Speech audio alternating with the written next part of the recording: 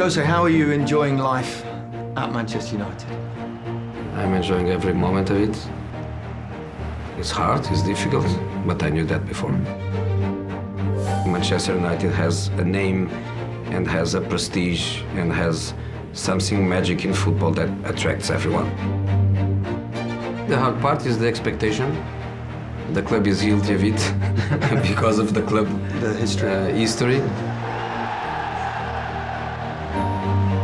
I'm also a little bit guilty of it because I'm used to win trophies in every club. The relation between our uh, true potential and the expectations we create, there is a gap. To be concise, our potential has a squad, as a football team, we are not ready to be Manchester United. We are not ready to be uh, the dominant force. We are not ready to try to win uh, everything. Because of our nature, the club, myself, uh, also the players and also the will of the players, we are ready to fight for every game, to fight for every point, for every objective, that no doubt. But there is a space between the general ambition of such a giant club and what we are in, in reality. Are you satisfied generally with the progress that you're making at Manchester United? You already won a trophy. Many other teams in England, they are, they are going to finish the season without a trophy, and we have uh, one and a half, the cup and, and the community, shield. Um, so that's good, but I would lie if I say I think is enough uh, for us. We have to fight for uh, for top four. We have to fight for um, Champions League.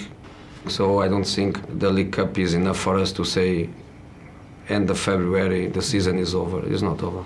You, you talked about the expectations at Manchester United, but you've managed, you know, Inter Milan, you've managed Real Madrid, you've managed a, a very rich Chelsea team. How does it differ? Is it bigger here? I'm not saying bigger. I'm just saying that uh, was easier to get the objectives in the other clubs than than here. Why? Why do you think that? You know, I think I found a set club. When you arrived here? Yes, Yeah. um, Manchester United sold players that I would never sell, and bought players that I would never buy. Yeah. Um, but probably when I leave a club, people say the same. I wouldn't be doing my job if. I asked you which ones they, they You shouldn't know, have sold. Exactly. Which exactly. ones? I would never sold Di Maria, No. uh, Chicharito, Yeah. uh, Danny Welbeck, never, no chance. Uh, as as an example, so I think we we let um, players that could be really important. But I'm speaking in relation to the way I think football, to the way I like to play, to the profile of players, because we all us we are um, always right.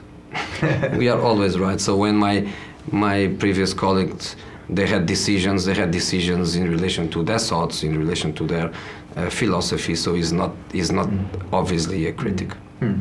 And uh, overall, though, you're playing you're playing a football. I've spoken to lots of Manchester United fans. They're enjoying the way that your sides were playing because people said, "Well, Jose Mourinho's a little bit cagey. Will he suit Manchester United?" Um, was that something that you thought about a lot when you I arrived? thought um, I thought I thought always that I try always to get the best out of my players, and I try always my team to play the way it suits them and the way I think I can get the best out of, of, of them. We normally dominate matches, we normally have the ball, we normally create a lot of chances, but we need to kill matches, we need to kill opponents. You cannot play open, you cannot play offensive. You don't kill, you are killed.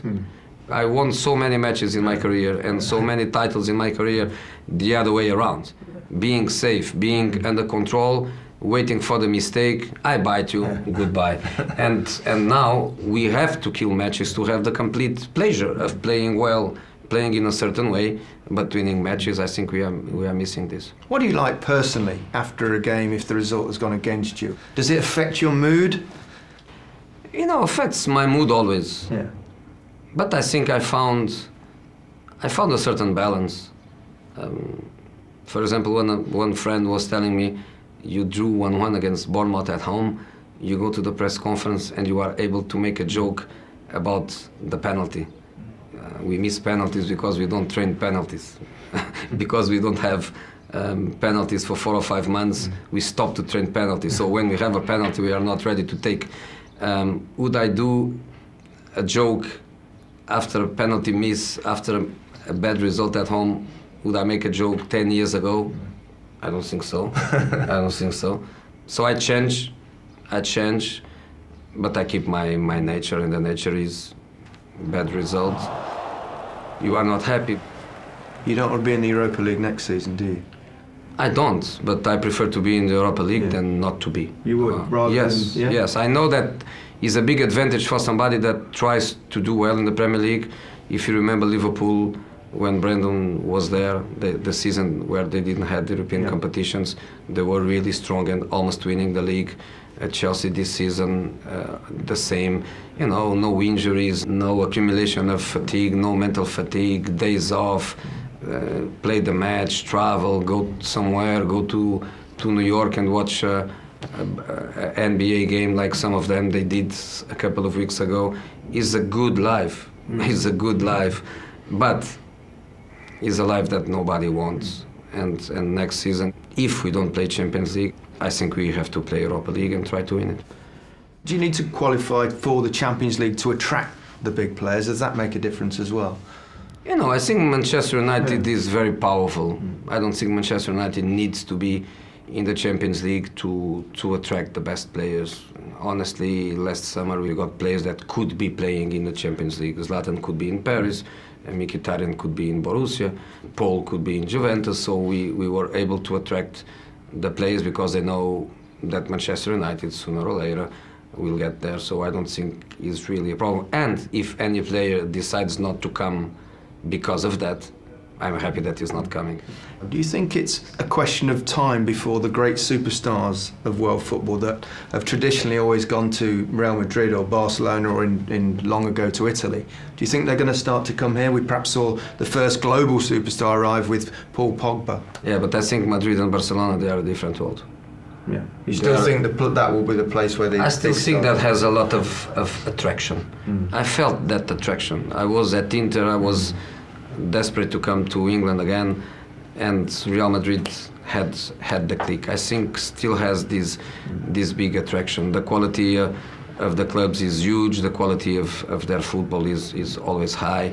Uh, commercially, they are very strong. A player that goes there knows that is going to have an amazing support at every level, not just commercially directly, but also indirectly. The way they promote the fights for the Ballon d'Or. We don't care about Ballon d'Ors in England, you know. I used we, to. You know, I know, but you you, you manage you manage the best league in the world of not to have one player in the best mm. FIFA 11, mm. not one. You know, we don't do it. We don't do it well. Right. Uh, we don't do it well in this in this country. So, Real Madrid, Barcelona, they are really amazing clubs. I know, you know.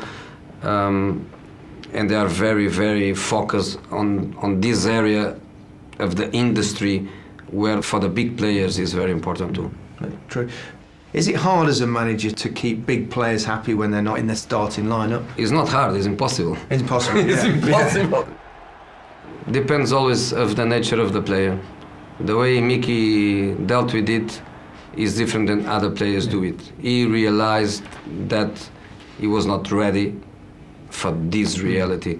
Physical, mental yeah. competitiveness, um, also his body uh, to to to adapt to that physicality, to that intensity, to the the little time to recover from match to to to, to match.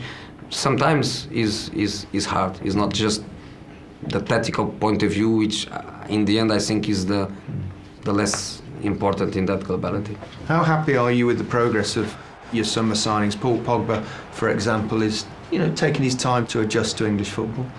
It's difficult when you're the most expensive uh, player. I suppose isn't isn't easy. The country is so different than the Italian mm. football. I think is is really hard for, mm. for him.